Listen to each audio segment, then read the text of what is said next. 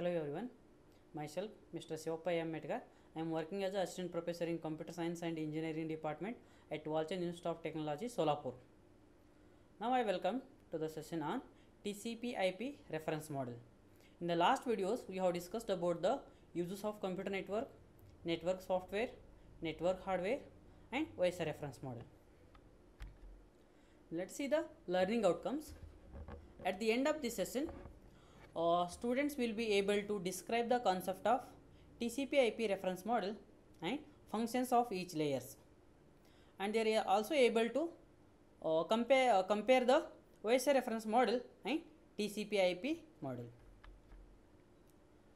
About TCP IP reference model, host to network layer, uh, internet layer, transport layer, application layer.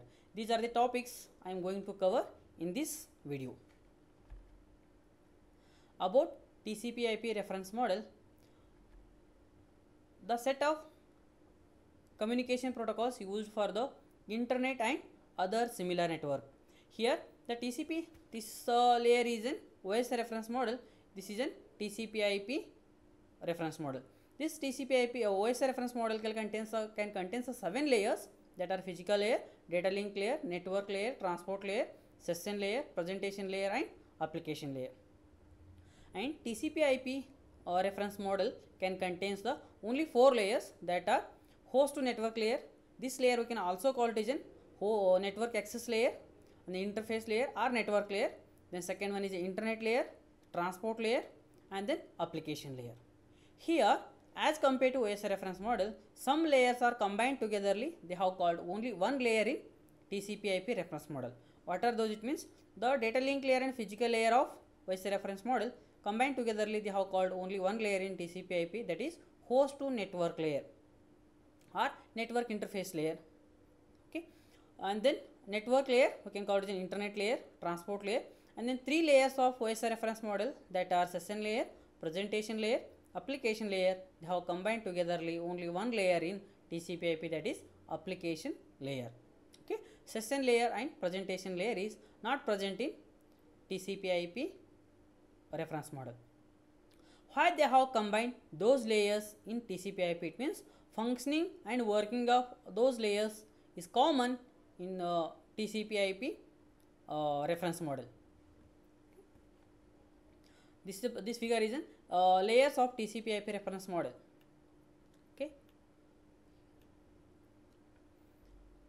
TCP IP is a uh, is a family of protocols. A few protocols wi- wide low level functions uh, needed for needed for many applications. These includes IP, TCP, and UDP. Okay, these are the four layers are there in a OS reference. Uh, sorry, TCP IP uh, reference model. And then what are the different protocols can belongs to each layers? Okay, first one is network interface or host network layer.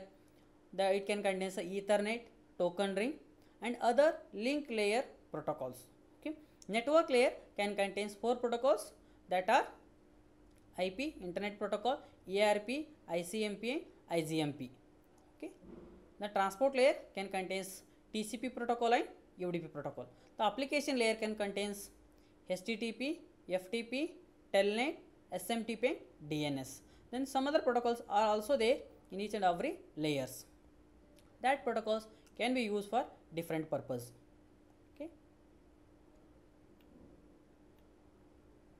First layer is in host to network layer. The physical and data link layer we can combine togetherly uh, call it is in host to network layer or network interface layer. Okay.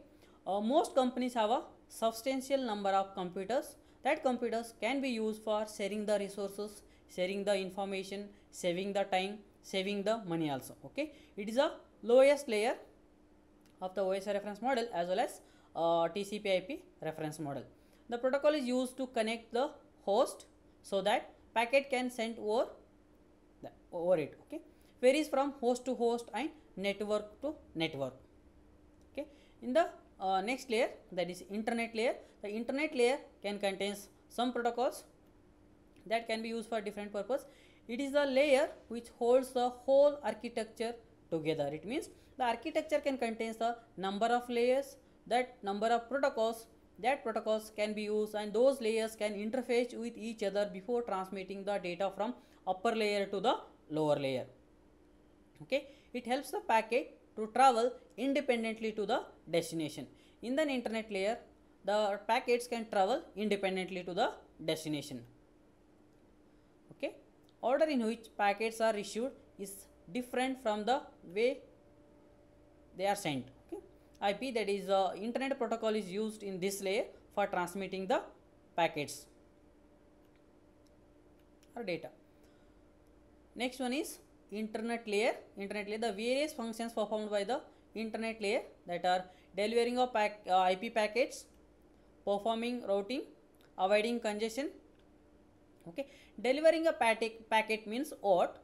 It means before transmitting any data from the source to the destination in the source side the user should have to mention the destination information. Based on that only the user can transfer the data then that data will deliver to the destination independently in the internet layer. Performing routing it means through routers we have to transfer the packets okay? Avoiding congestion means the sending speed is very high receiver speed is very slow then that time the user may face the problem of congestion it means storing problem okay? Then if you are maintaining the sending side uh, speed and receiving side spe- uh, receiving side speed is common then we can avoid the congestion. Next one is transport layer. Transport layer is the uh, in the transport layer the user can send some uh, data by using some protocol that is the tcp and udp protocol. The functions of this transport uh, layer is uh, such as multiplexing segmenting and splitting on the data is done by transport layer. It means in the user is facing the problem of transmitting it means they can split the data then they can transfer to the next user. The applications can read and write to the transport layer. Transport layer adds header information to the data. It means uh, before transmitting both upper layer as well as current layer they can interface with each other. After interfacing the data can pass to the next layer. The next layer can add its whole uh, header own header information to the current layer then it can pass it to the next. That is by uh, this is a concept of transport layer. Okay in transport layer only we have to add the data to the uh, information to the data. Okay it breaks the message into small units so that they are handled more efficiently by the network layer.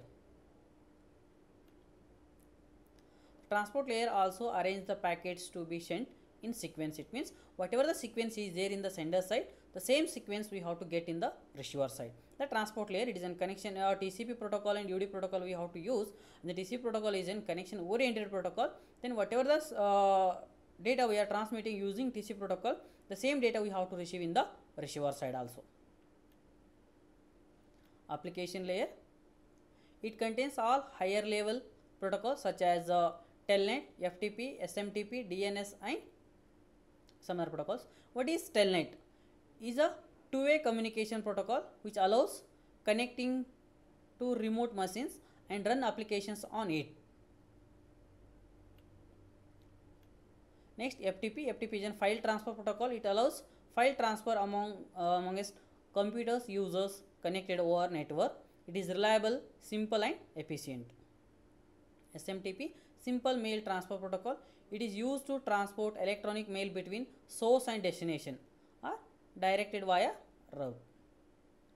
Dns domain name system. It resolves an ip address into textual addresses for host and connected over network.